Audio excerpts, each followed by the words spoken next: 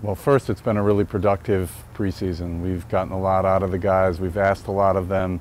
Uh, it's been uh, the the weather's been terrific. Their effort has even been better after a week and a half of uh, um, trying to get to know each other and figure out how we want to play and who we want to play. Um, we feel like we're uh, beginning the process to getting ready for that first game on Friday. Being in the playoffs the past 10 years has been uh, a function of our talent, a function of the hard work of the team, uh, and a function of uh, playing in a really, really difficult league. So we're really um, focused this year on trying to get back there, but we know that the, uh, the competition is really difficult in the conference. Every single game will be difficult. The work we put in now and the effort we put in during the during the preseason is going to prepare us for those uh, really, really difficult tests that we'll face uh, throughout September and October and hopefully lead us to uh, an 11th consecutive postseason appearance. But we're just focused on the day-to-day -day right now.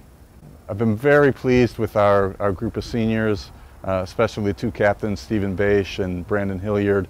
They've done a, a terrific job of uh, introducing the freshmen to what it's like to be a, a, Carleton soccer player, both on and off the field. They really exemplify what we try to, to um, build in this program, which is really bright, hardworking, motivated young men who, uh, who excel on the field, but more importantly, excel in the classroom. Nice on three. One, two, three. Nice.